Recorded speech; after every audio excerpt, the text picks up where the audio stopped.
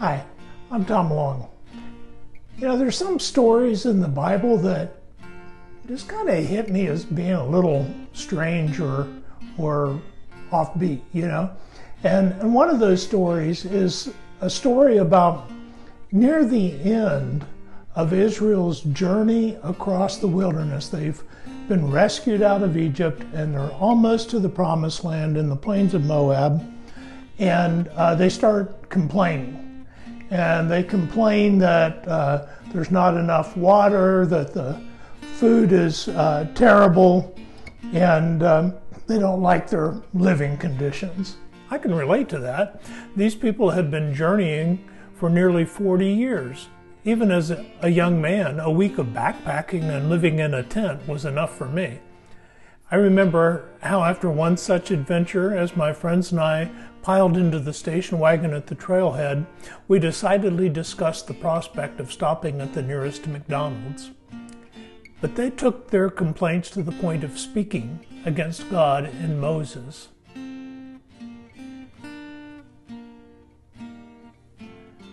And here's where the story gets almost inexplicably weird. God sent venomous snakes among them, and these snakes were so poisonous that many people died. Loosely translating Numbers 21 7, the people said, Uh oh, we screwed up. Sorry. Moses, get God to help us. And now the story really leans into its own weirdness. God tells Moses to make a snake and stick it on a pole and raise it up in the midst of the people. Whenever people looked at the snake, they were cured from the snake's venom. This whole situation is about as confusing to me as Jesus' teaching was to Nicodemus. In John chapter 3, as Jesus tells Nicodemus about being born again, he's like, um, exactly how's that going to happen? An adult can't go back into their mother's womb. Jesus tells him that he is talking about being born of the Spirit. Nicodemus, although a learned man, asks, How can this be? In our gospel reading for this week, Jesus tries to make his meaning plain. And he does this by referring back to the story of the bronze snake on a pole and says that he must be lifted up like that so that everyone who believes may have eternal life. Now, Jesus was lifted up in at least three ways. He was raised up on a cross. He was raised up from the tomb at his resurrection. He ascended into heaven. Jesus bore the judgment of our sins on a gory Roman cross. Believing Israelites looked to the bronze snake, which represented the judgment of their sins, a bronze snake representing the poison snakes on the plains of Moab. Jesus says, just as they look to that bronze snake, trusting in God's word, so anyone and everyone who looks to Jesus lifted up on that cross and trusts will have eternal life. As we prepare to dive into the final paragraph of our reading, I want to ask you a question.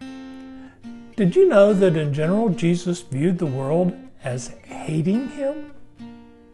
He found the world to have the same attitude toward him as the Israelites had against God and Moses. Just something to keep in mind as we delve into this next paragraph.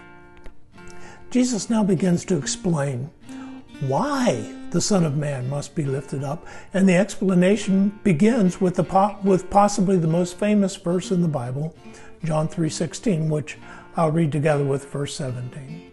For God so loved the world that he gave his one and only Son, that whoever believes in him shall not perish, but have eternal life. For God did not send his Son into the world to condemn the world, but to save the world through him. So, even though he knew that the world hated him because he confronted evil, God's love for the world compelled him to send his Son to be lifted up for us. Now, Israel had grumbled against God and brought judgment on themselves. Our passage says that we are all, quote, quote, condemned already, because like them, we have all sinned against God. I just want to make it clear that just as the Old Testament doesn't sugarcoat human nature, neither does Jesus. But even so, God's love persisted. 40 times in the Old Testament, God's love is described as unfailing love. God loves us, and there's nothing we can do to change that.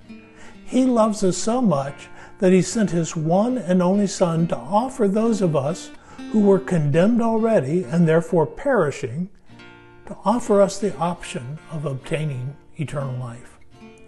The word translated perish here comes from a compound word meaning to cut off or separate away from something.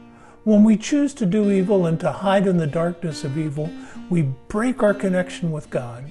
And just as a limb that is separated from the tree dies, we also perish spiritually. The phrase eternal life is a bit trickier. Some take it to mean living eternally in heaven. But Jesus actually defines eternal life as he is praying to the Father in John chapter 17, verse 3. He says, Now this is eternal life, that they know you, the only true God, and Jesus Christ, whom you have sent.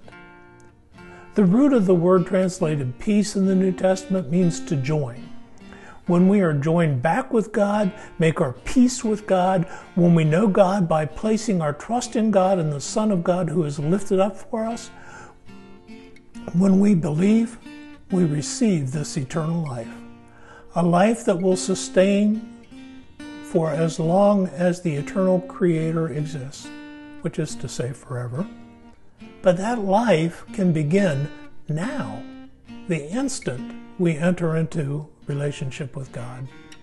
Our salvation isn't just going forward to receive Christ at a, at a church service, although it can start there. It's living a life in fellowship with God through Christ. That's what God wants for us. He wanted it so much that He was willing to die for us. So, who is invited? For God so loved the world